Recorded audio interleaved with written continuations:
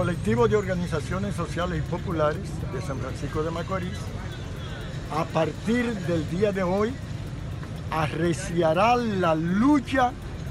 por el cumplimiento del pliego reivindicativo que en sucesivos movimientos de protesta ha desarrollado el pueblo de San Francisco de Macorís. Anunciamos que para el día 6 de este mes tenemos un pleno de dirigentes en el Sindicato de la Industria de la Construcción, donde llamamos al conjunto del movimiento social y popular a integrarse para discutir con nosotros la posición que llevará el colectivo a la Asamblea Regional del Cibao a celebrarse el día 13 en la ciudad de Santiago, donde se discutirá un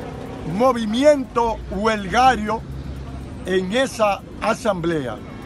Al mismo tiempo, el colectivo condena la actitud del gobierno de, a través de los llamados acuerdos eh, empresarial Estado, la entrega de los diversos elementos de patrimonio nacional como Punta Catalina y otros,